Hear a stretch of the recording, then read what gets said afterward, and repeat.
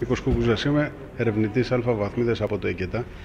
Η, σήμερα υπάρχει μια συνάντηση στην Πτολεμαίδα στα γραφεία μας με, την, ε, με τέσσερις πρεσβευτές από τις χώρες ε, Σλοβακία, Ουγγαρία ε, και, και Πολωνία και, και Τσεχία.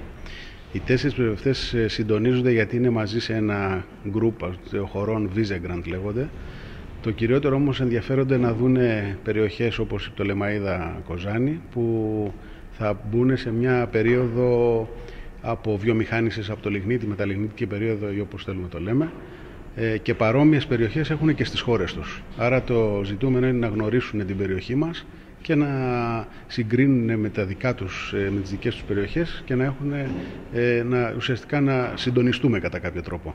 Εμείς θα τους κάνουμε μία εξήγηση, θα τους δείξουμε λίγο θα τους, τι κάνει το Ινστιτούτο μας και πώς μπορούμε να βρούμε ε, ε, κοινά σημεία συνεργασιών μεταξύ του δικού μας Ινστιτούτου και Ινστιτούτων από τις περιοχές αυτών.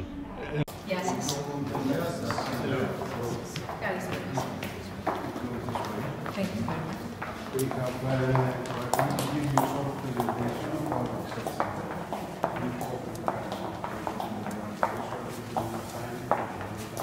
That of course you find time for us uh, to say a few words about your center. Yes. Because we are here. Ελπίζουμε να να πάρουμε γνώση γιατί ειδικά η Τσεχία έχει προχωρήσει ναι, σε, ναι. Σε στάδιο... Ειδικά κάποιες από αυτές τις χώρες είναι αρκετά προχωρημένες τεχνολογικά ε, και έχουν, έχουν αναπτύξει ήδη μοντέλα και τεχνολογίες ε, για, τις περιοχές, για αυτές τις περιοχές.